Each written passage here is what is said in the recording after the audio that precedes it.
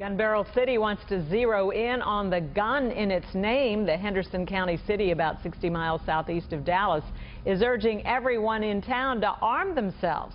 Channel 8's Teresa Woodard took the trip to Gun Barrel City to see what city leaders are aiming for with this new resolution. It is who they are. Six shooters in their logo. Gun is in their name. I think the name is, is, is a, is a commerce. It, it, it's, a, it's, a, it's a trademark.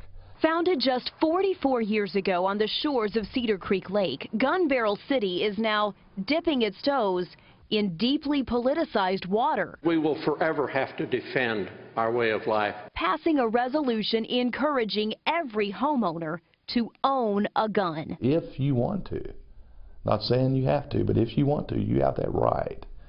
And, and we're going to support that right. and we don't need our rights taken away. The mayor says this keeps the city safe while supporting the Constitution, but there's something else. I'm not trying to encourage anybody walking down the street with a six gun on their side.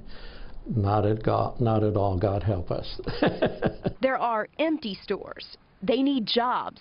They need industry. Politicians know this is pretty provocative, but they say their motive has more to do with marketing, telling businesses that have to do with guns that Gun Barrel City may be the perfect place to move. Why not? Why not, why not come to Gun Barrel City, help us build an industrialized area, and be part of it? Capitalizing on a name that may be quite a draw.